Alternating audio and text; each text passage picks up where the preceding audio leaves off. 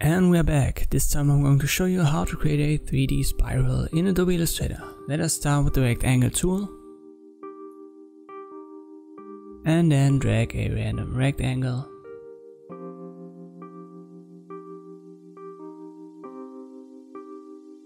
Copy it while holding Alt and dragging a copy out of it, then press Ctrl D until you've got 5 of these stripes.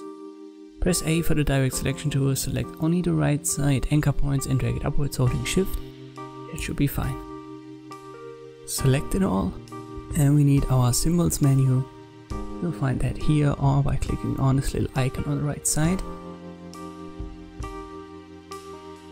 Then drag the stripes into it and we've got a new symbol created. I simply named it stripes tutorial, click on OK.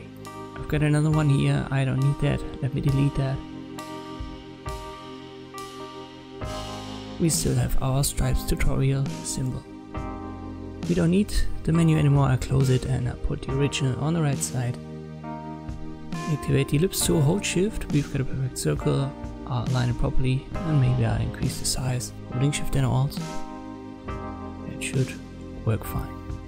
Press A for the direct selection tool, select the right side anchor point and delete it. We've got a half circle. Go to effect, 3D revolve and we want to use map art and under symbol we will now find our stripes tutorial symbol. Invisible geometry needs to be checked and we will need to scale to fit that. Make sure preview is activated there as well to see what you're doing. So now we need to first expand the appearance, so go to object and then expand appearance. And we can align properly. You see all of these paths? We need to delete them, but first we need to go to object and ungroup it until we can't ungroup it further.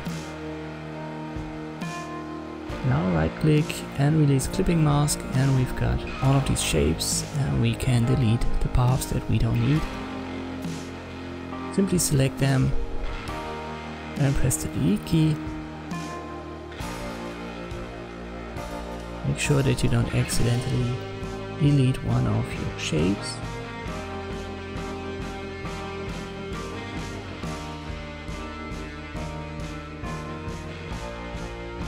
another one on top. And that's fine. And now we only need to change the color.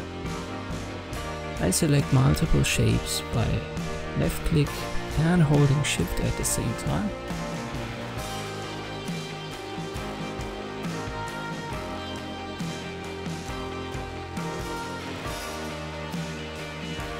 And then I use the basic color swatches over here.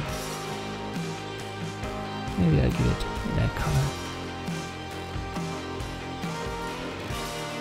So that looks fine, but on the right side we need to work on some elements. Look at these smaller shapes, we need to select them all and give it the same color.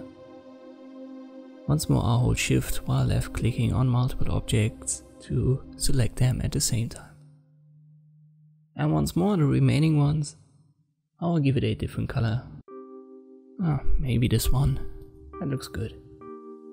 And you can still resize that, rotate that, and even transform it.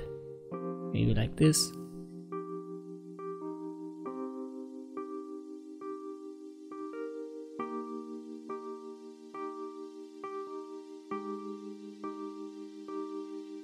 But when you want to align it, make sure to group it first And this is how to create a 3D spiral in Adobe Illustrator. Thank you for watching and I'll see you next time.